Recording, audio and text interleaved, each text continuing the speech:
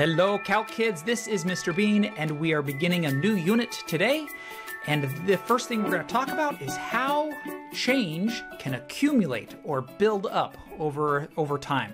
Now, before we do that, we need to make sure we understand this phrase area under the curve. We're going to talk a lot about area under the curve in this these next few units. It's actually pretty easy, but kids will still do it wrong. And that's because of the word under. They think it just means below, and it doesn't mean below. What it means is between the x-axis and the function. These are the two things that we, we shade in between. So for example, here I have the x-axis. Here is this curve, this function curve, and we shade this region right here. This would be considered the area under the curve. So the area from the curve to the x-axis. So on this example, the x-axis is above the curve, and so we would shade above it. So this area would be considered area under the curve, even though it's actually not below the curve. It, in this case, it's above the curve. So that's why you don't want to think under means below. It means between x-axis and the curve. So then on this one here, again, here's this x-axis right down. It's splitting the curve right down the middle. And so now area under the curve actually jumps around. Here, and then here. So it's always between the curve and the x-axis. Okay, so three different examples of area under the curve. Sometimes it's below the curve, sometimes it's above, sometimes it's both. It just depends on where the x-axis is. Okay, so now that you have that, we can start talking about some accumulation of rate of change. So if you have a rate of change function, this is important. The function we're talking about must be a, oops, Get rid of that. It must be a rate of change. Okay, so the function itself is a rate of change. If you have something like that, then the area under the curve gives us the accumulation of change. In other words, how much things are changing by as if you add up this change over time. Let's start off with super easy example, something we could have done years and years ago in your math class, and that is, say you're on a road trip, your car's on cruise control for four, four hours. Okay, that's not realistic. You're gonna have to go to the restroom or something during that time. But let's just pretend you're driving at exactly the same miles per hour for four hours. And we're saying 60 miles. Okay, so you already know all you'd have to do is take 60 miles per hour, times it by four hours, and you're going to get, what is that? 120, 240 miles that you've traveled. Okay, that's not that hard of a problem. So let's relate it to what we're talking about within calculus. And that is, if, let's, if we take the area under the curve, so again, here's my x-axis, and you, you shade everything here up to the fourth hour, because we're only doing the first four hours. So I'm going to shade up to there. We have a rectangle shape. That's the shape of the shaded area that we've just gotten. Now, a rectangle, we can figure out what's the area of this thing. Well, the width of this is 60 miles per hour. So I'm going to write down 60 miles per hour. And then I'm going to times that by the, the length here of this rectangle is four hours. So times four hours. And then if you do that, we get 60 times 4 is the 240 that we talked about already. And then the hour here cancels with the hours there, and all you're left with for your units is miles. So how far we've traveled is the accumulation of the rate of change. So again, we have this rate of change, the area represents how far we've gone during that time.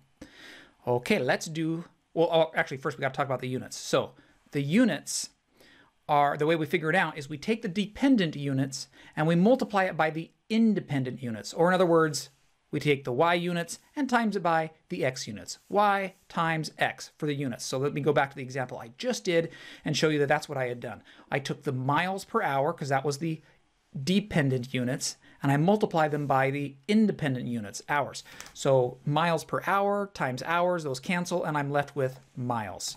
So that's how we get the units for the area under the curve. Now let's do a little bit of harder example. As the unit goes on, we will have some crazy functions that we'll have some all these equations for to figure out the area under the curve. But for now, I'm going to give you uh, geometric shapes. So either something like a square, a rectangle, a semicircle, or maybe a triangle that you can see here. That's how we'll figure out the shapes of this. So don't do this, but I'm going to sh show you if I shaded this whole thing in, you could you could visualize there's all these different shapes that are going in here. Like I've got a rectangle, maybe I could do that whole rectangle. Then I've got the semicircle, then I've got a triangle here. So there's all these different shapes we've got. So it depends on how you want to break this up to figure out our answer this. So this is, what is this representing even? Oh yeah, water tank. So water is leaking out of a tank. Units are given in the graph. So we have gallons per minute. Again, this is a rate of change and that's important. We have a rate of change that we're going to, uh, to figure out the area under the curve gives us the accumulation of that change. Uh, okay, so let's, let's do this. Let's, how about we take this full rectangle right here. I'm gonna do that whole rectangle. I can see that shape. So that's a six by two rectangle. So that's a total of 12 units. And then this is a semicircle. So remember a semicircle is pi r squared. That's a full circle and then divide it by two. So this is going to be pi, the radius of this circle is from the center to the outside is two. So it's pi two squared, so times four, all over two because it's just half a circle. And Okay, so then I'm going to write down what that equals. That equals uh, 2 pi, right? Yeah, that's so that semicircle represents 2 pi. And then we have the triangle. Remember, triangle is 1 half times the base times the height. Or in other words, we just take a look at the rectangle that we have here formed out to nine minutes. This rectangle, half of it would be a triangle. So therefore, split this in half. What do we get here? One, two, three, four, five, six. Half of that is three. So the area down here is three.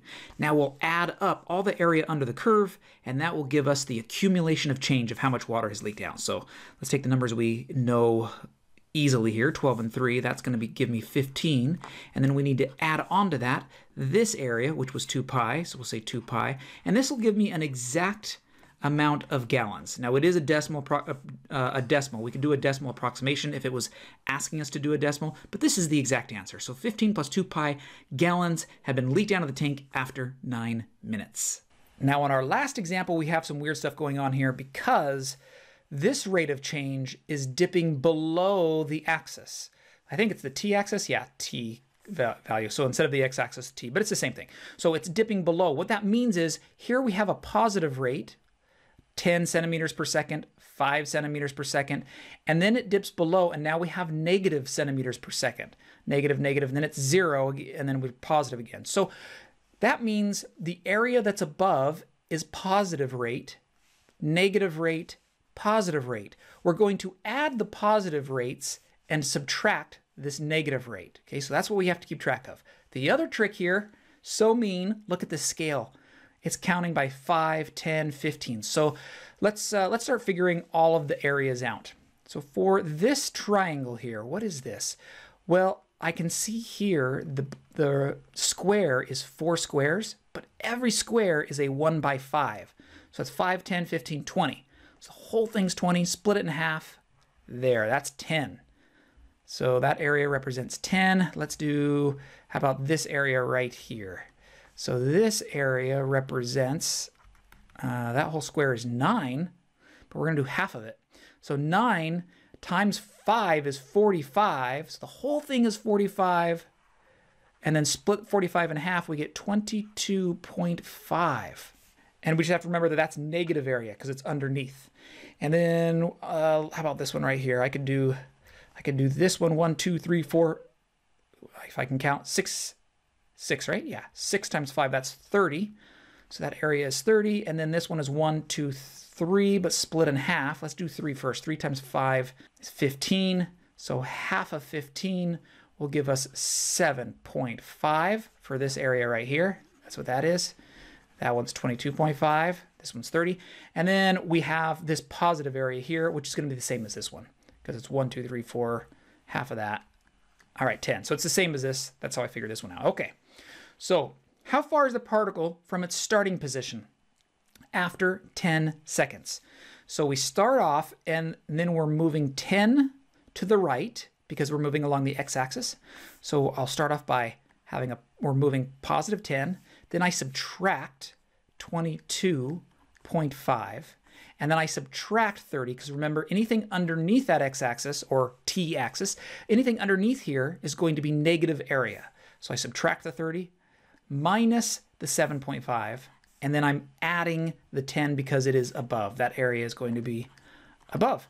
So let's see, 10 plus 10 is 20. And then I, uh, let's add up all the negative area here. So the negative area adds up, if we put this all together, that is 60. That's gonna give me negative 40. So now let's answer the question. How far is the particle from its starting position after 10 seconds? It is 40, what, centimeters? Yes, because the seconds will cancel when I multiply them. So I have 40 centimeters to the left. And there is our answer to that problem. So the negative represents that I would be moving left based on this problem here with the x-axis stuff going on. Okay, so now we actually already can answer part B. So from two seconds to eight seconds. So from right here to right here at eight seconds, basically how what how far is the particle from its position at two to eight? So this negative area represents that it traveled left. So it's going to say left, and then if we added all those numbers up, we'd have 60. That's what I got from up here when I got that 60 there. So left 60 centimeters. Okay, we've covered it all. So as a summary, just remember we're doing the area under the curve is between the line, the curve, and the x-axis. So it might be underneath the x-axis, it might be above it, depending on where the curve is, and that this represents an accumulation of change. How much, whatever this rate of change is, how much it's actually changing things by. So in this case, centimeters per second, it would be how many centimeters it's changing by, since we cancel out the seconds. Okay, that's everything. So rock that master check, and I'll see you back at our next lesson.